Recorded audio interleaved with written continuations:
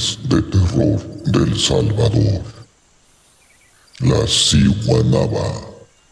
Esta es la leyenda más conocida del Salvador. En los tiempos en los que las deidades caminaban sobre la tierra, el dios Tlaloc se enamoró perdidamente de una joven y bellísima mujer, a quien los aldeanos llamaban Sihuehuet, que en castellano se traduce como hermosa mujer. De este amor nació un hijo. Sin embargo, la gente la consideraba una mala madre, ya que dejaba al pequeño solo en casa para salir a pasear. Por este motivo, el niño se alimentaba únicamente de ceniza. Tlaloc no tardó en enterarse de las acciones de la mujer, y su enfado fue tal que le lanzó una terrible maldición. A partir de este momento, ya no serás conocida por tu nombre anterior, sino que todos te llamarán Siwanaba, es decir, horrible mujer pronunció el dios de la lluvia. Desde la distancia, la mujer parecía hermosa. Sin embargo, cuando algún hombre se le acercaba, su aspecto cambiaba drásticamente convirtiéndose en un horripilante monstruo.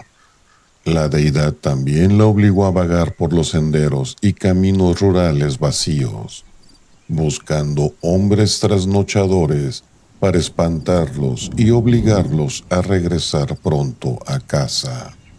Existe una manera de librarse de la ciguanaba, aunque llevar a cabo este plan sin fallos es sumamente difícil. La víctima que se encuentra cara a cara con ella debe acercarse lo más posible y luego tirarse al suelo cerrando los ojos y estirando uno de sus brazos hasta poder alcanzar uno de los pies de la criatura. Después de esto, la persona debe jalar con fuerza para hacer que ella caiga, mientras el espíritu maligno permanece en el suelo. El individuo debe darse a la fuga.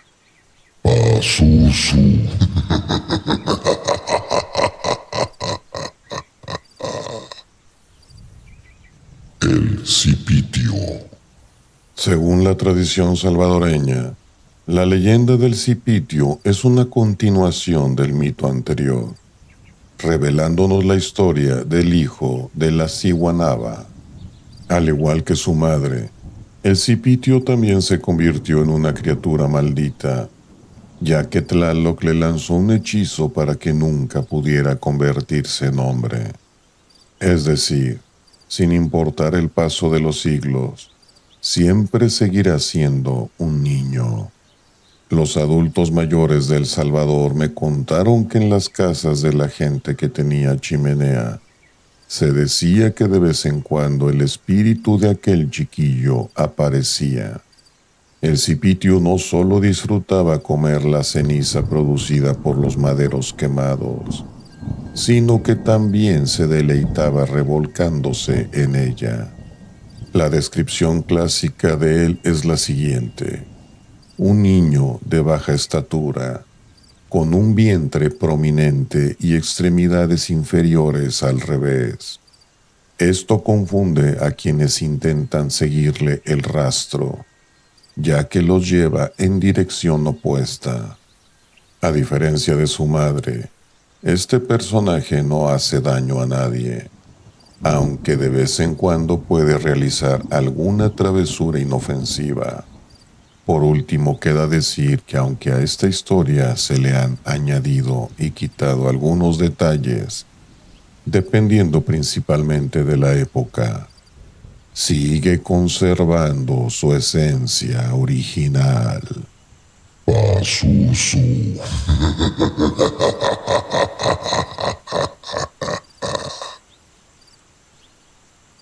El cadejo. El cadejo es una de esas historias que trasciende las fronteras de un lugar específico en Centroamérica, como en el caso del Salvador se encuentran versiones del mismo relato en otras regiones, como México. Se trata de una leyenda de origen indígena que sostiene que los perros son acompañantes ideales para guiar al recién fallecido hasta la tierra de los muertos. Sin embargo, con la llegada de las tropas españolas a Mesoamérica, este mito comenzó a evolucionar. En versiones posteriores, se utiliza esta leyenda para ilustrar claramente el contraste entre el bien y el mal. Los cadejos son perros fantasmas más grandes de lo habitual y generalmente se les ve en parejas. Uno de ellos es de color blanco, mientras el otro tiene el pelaje completamente negro. El cadejo blanco, con ojos azulados, simboliza la luz del paraíso. Si este perro guía el alma de un difunto, encontrará el descanso eterno fácilmente, sin obstáculos en su camino hacia su destino final. Por otro lado, si aparece el cadejo negro durante el trayecto, es necesario tomar precauciones, ya que este perro se asocia con el infierno su principal misión es llevar almas inocentes al Averno para satisfacer a Satanás. Para protegerse de este espíritu maligno, los salvadoreños solían quemar incienso, conocido como saumerío, en ciertas regiones del país. Un consejo que podemos darte es que si decides pasear por el campo, intentes regresar a casa antes de que se ponga el sol, ya que a veces los cadejos andan sueltos. Basusu.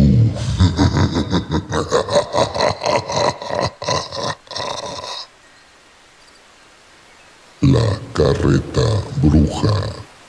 Cuenta la leyenda que desde tiempos pasados, en algunos pueblos del Salvador, cuando el reloj marca las 12 de la noche, se puede escuchar con claridad el rechinido de las ruedas de una carreta que atraviesa las solitarias veredas a toda velocidad. El relato que compartiré hoy me lo contó un querido amigo. Según él, un hombre había ido a visitar a unos parientes Tan absorto estaba en la reunión que perdió la noción del tiempo, abandonando la casa casi a medianoche. A pesar de caminar por un sendero oscuro, no sintió temor, ya que desde pequeño había estado acostumbrado a pasear únicamente bajo la luz de la luna. Avanzó sin preocupaciones hacia su hogar hasta que de repente escuchó el chirrido de las ruedas de un carruaje. ¿Quién podría ser a estas horas de la noche? le preguntó el hombre a su perro. Continuó su camino, aunque el sonido de la carreta se hacía cada vez más fuerte.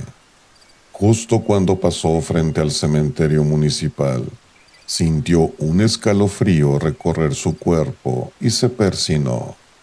Ya casi llegaba a su casa cuando de repente sintió un escalofrío, ya que escuchó a los animales de la granja aterrorizados. De repente, como un destello, vio pasar la carreta bruja frente a sus ojos. El cochero tenía la cabeza cubierta de zacate y del interior del carruaje Solo se podía ver un extraño resplandor rojizo. Lo más confuso de esta leyenda es que el hombre no recordaba cómo llegó a su casa, ni por qué estuvo postrado en la cama durante más de tres días, con fiebres superiores a los 40 grados.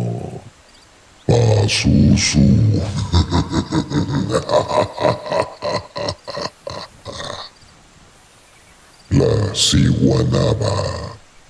Algunos afirman que la leyenda de la Ciguanaba es exactamente igual a la de la Ciguanaba, que por cierto ya está incluida en esta compilación.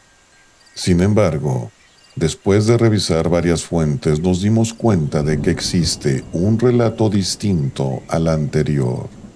Quizás la confusión en la población se debe al hecho de que en ambas crónicas no solo el nombre es prácticamente idéntico, sino que también comparten varios elementos en común. A continuación, comenzaremos a relatar esta leyenda para que puedas compararla con la otra. En esta historia nos encontramos con una bella mujer que era pretendida por un cacique. Sin embargo, la joven estaba completamente enamorada de otro hombre. Esto enfureció al poderoso hombre, ya que ninguna otra chica del pueblo se había atrevido a rechazarle. Enfurecido, fue al domicilio de la joven, la raptó y la encerró en una cueva.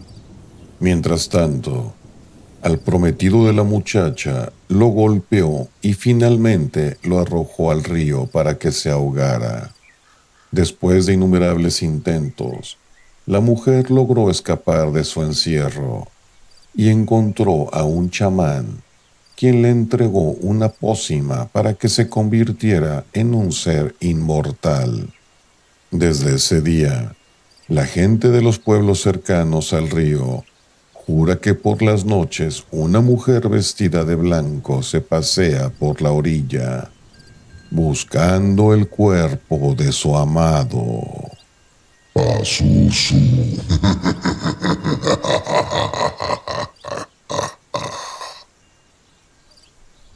La leyenda del padre sin cabeza. Según lo que sabemos, existen dos versiones distintas de la leyenda del Padre sin cabeza. En la primera, se cuenta que un sacerdote se enamoró de una mujer y abandonó la iglesia para casarse con ella. Desde el punto de vista de la iglesia, este acto significaba que el pobre cura estaría condenado al pecado mortal por toda la eternidad al romper sus votos de castidad para contraer matrimonio. En la segunda versión de la leyenda, relacionada con el sacerdote decapitado, la gente mayor asegura que hace mucho tiempo hubo una fuerte revuelta en El Salvador y que uno de los padres de la iglesia convenció al pueblo para que se levantara en armas contra el gobierno colonial. Hubo numerosas batallas en las que el cura salió victorioso. Sin embargo, en una de las últimas escaramuzas, el ejército español logró capturar a los rebeldes y el padre fue condenado a muerte. Además, en esta narración se enfatiza que el alma del sacerdote sale todos los viernes del año de la iglesia del Rosario para recorrer las principales calles de la ciudad. Por otro lado, no solo se ha avistado al padre sin cabeza en la capital, sino también en poblaciones como en Santa Ana o en Cojutepeque. Pasusu.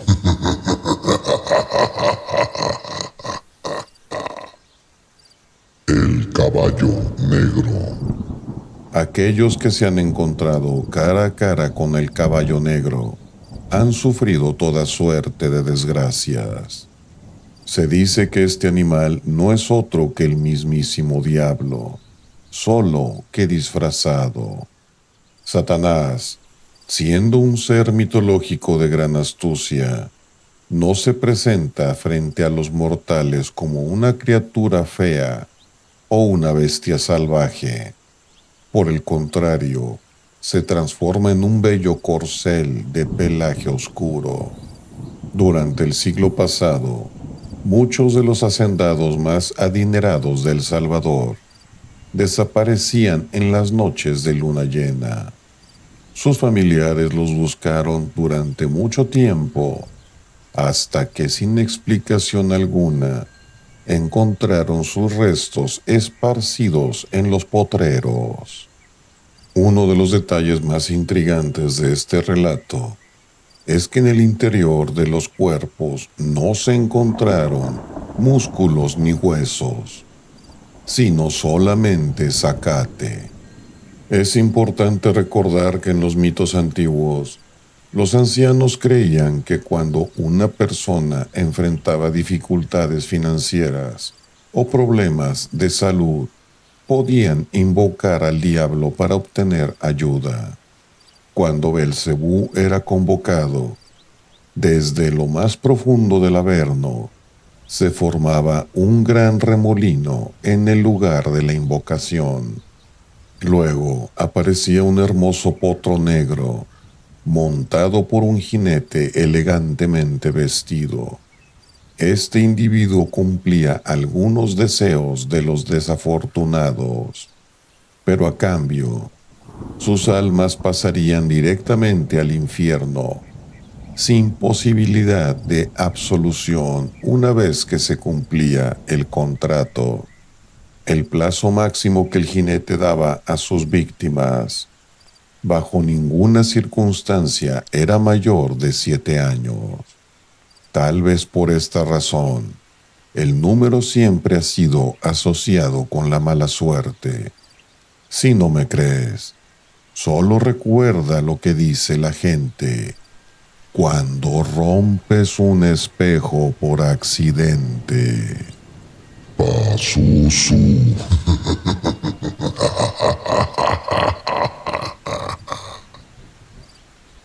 La descarnada.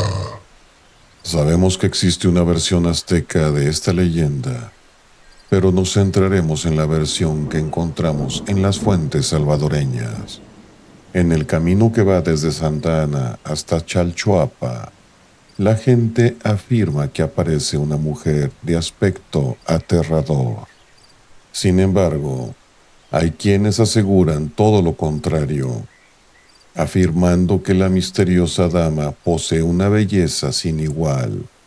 Suele pasearse por los caminos poco transitados, vistiendo ropa moderna y provocativa con el objeto de atraer a conductores solitarios para que se detengan y la ayuden.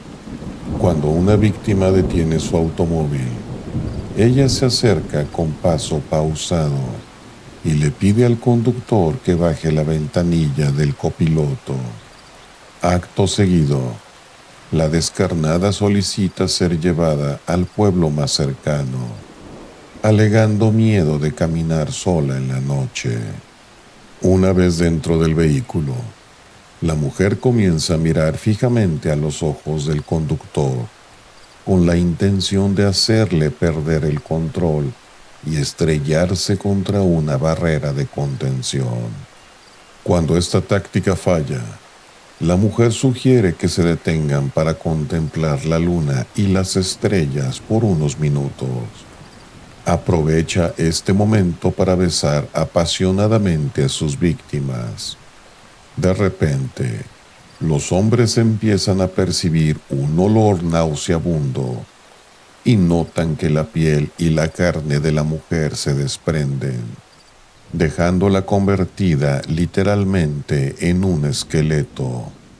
Se dice que los desafortunados conductores que han sufrido el ataque de la descarnada nunca vuelven a recuperar la razón, ya que sus mentes quedan seriamente dañadas para siempre. Se desconoce si esta mujer fue una bruja o simplemente una víctima que fue asesinada en la carretera y ahora busca venganza. Y así concluye una de las leyendas de terror salvadoreñas más espeluznante. Pasusu.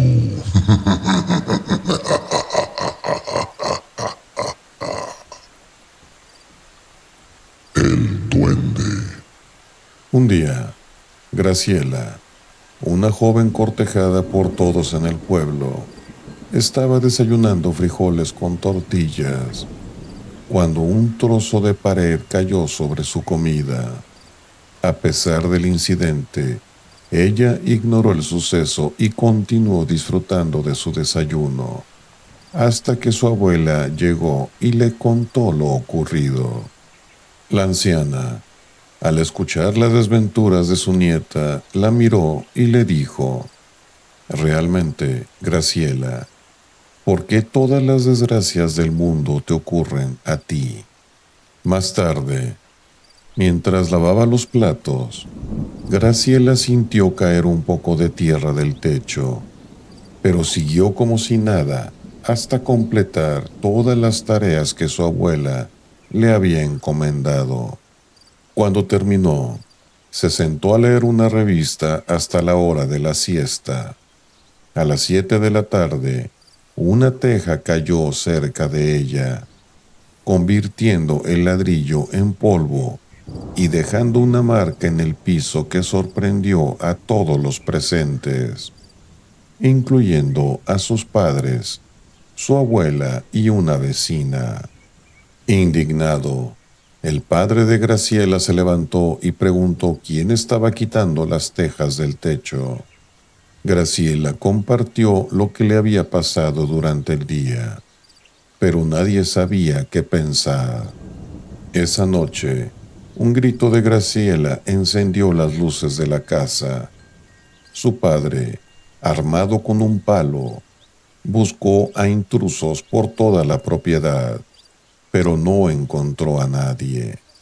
Más tarde, un fuerte ruido resonó en la casa como si los trastos en la alacena se hubieran caído. Nadie pudo dormir después de tantos sustos. Por la mañana notaron algo extraño. El agua en la pileta para bañarse estaba tibia, algo inusual para esa época del año. El misterio se resolvió cuando el padre encontró extrañas huellas en la tierra similares a las que deja el duende, un personaje de las leyendas salvadoreñas.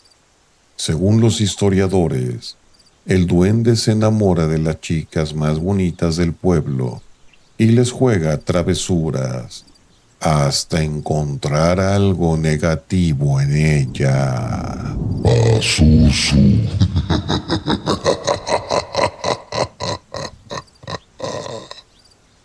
La flor de amate.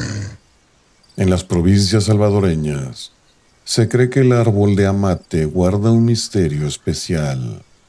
Una de las leyendas sugiere que quien se siente a su sombra será espantado por un espíritu durante la noche. Sin embargo, entre todas las historias conocidas, la que habla sobre la flor de amate merece especial atención. Según la gente, esta flor solo es visible para los niños y las personas sordomudas. A veces se aparecen en las noches de luna llena y para atraparla se necesita un pañuelo blanco. Dicen que si le envuelves en él, la flor nunca se escapará. Quienes logran atraparla disfrutan de un largo periodo de buena suerte pero deben cuidar de que la flor no desaparezca, ya que junto con ella se irá la fortuna. El secreto para atraparla radica estar en el lugar exacto donde caerá la flor, en el momento preciso, a las 12 de la noche. En otras versiones, se dice que para obtener la flor de amate, uno debe desafiar a Satanás a una pelea. Si el desafiante gana, se le concederán todos sus deseos y una vida larga y plena. Pero si es derrotado, su alma será llevada al infierno por toda la eternidad.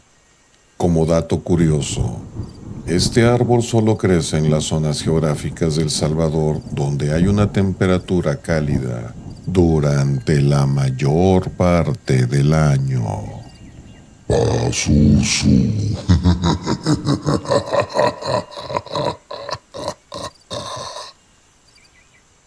Chasca del agua.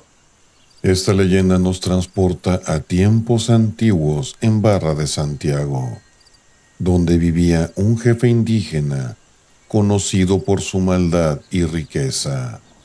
Este hombre ya había concertado el matrimonio de su hija, Chaska, con el príncipe de una tribu vecina.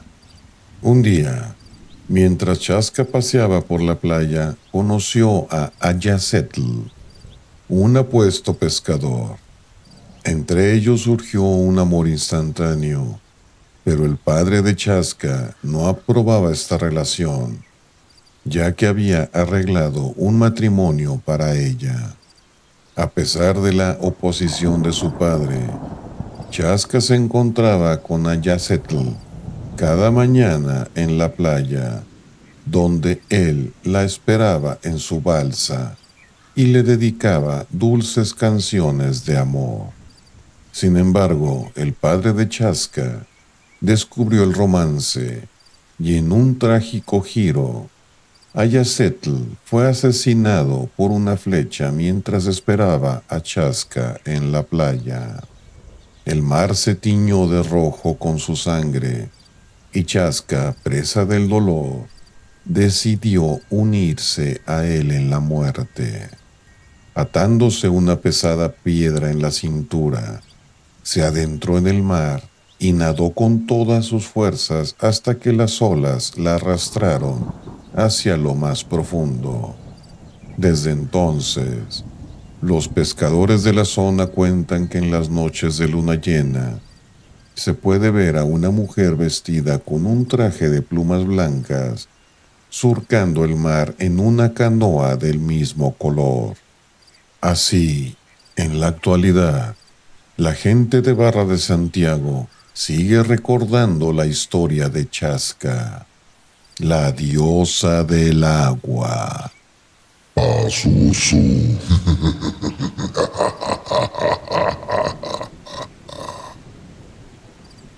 El justo juez de la noche.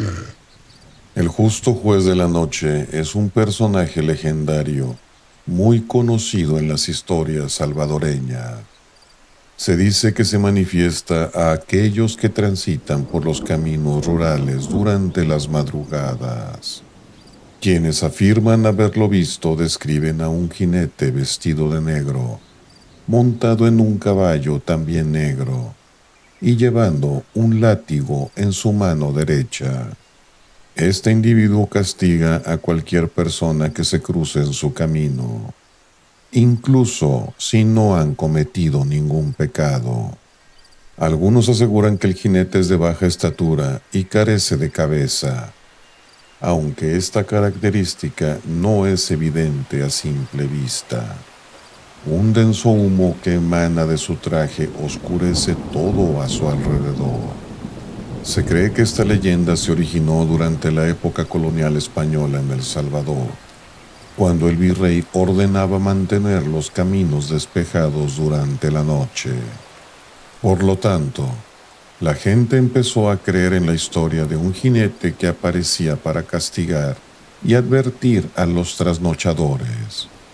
La justicia del juez era implacable, ya que todos recibían la misma cantidad de golpes, sin importar la gravedad de su falta desde el robo hasta simplemente beber en exceso.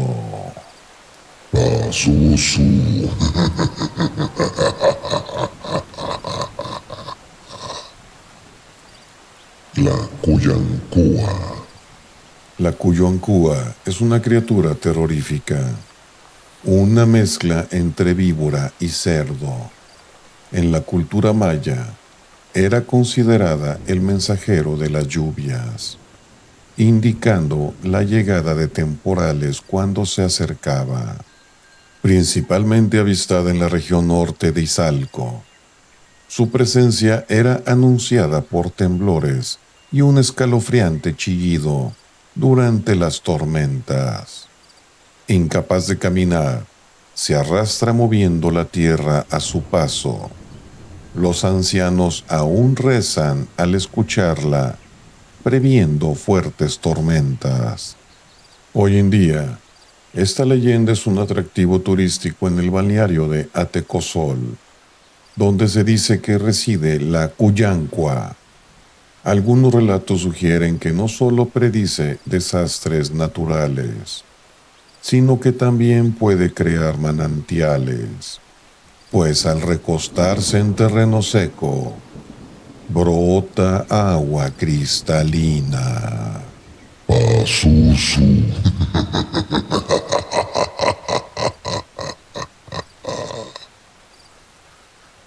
Nuestra Señora de Santa Ana. La leyenda relata cómo un grupo de indígenas se dirigía en peregrinación hacia el pueblo de Santa Ana, llevando consigo una imagen religiosa. La noche cayó inesperadamente, obligándolos a pasar la noche en el sitio, resguardándose bajo una gran ceiba en lo que antes era conocido como Cihuatehuacán. Al amanecer, los peregrinos intentaron continuar su camino, pero se encontraron incapaces de levantar la imagen del suelo, como si estuviera adherida al lugar por una fuerza divina. Una mujer sugirió erigir una capilla en el mismo sitio, interpretando el hecho como un deseo celestial. Otra versión de la leyenda de Nuestra Señora de Santa Ana narra un suceso durante la Revolución del 44, cuando un ejército agotado y desarmado estaba a punto de rendirse. En ese momento, una hermosa mujer se les acercó, llevando un bulto en su delantal. Sacó un cántaro de agua y les dio de beber a todos lo que milagrosamente cambió el curso de la batalla a su favor. Pasusu.